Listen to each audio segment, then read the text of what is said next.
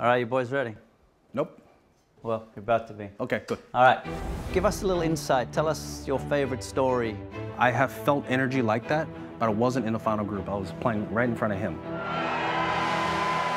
This guy, in his black pants and red shirt, was camped out. Do you remember that? Nope. Did you do that on purpose? Nope. Stop lying. Okay. You're trying to win your money back, huh?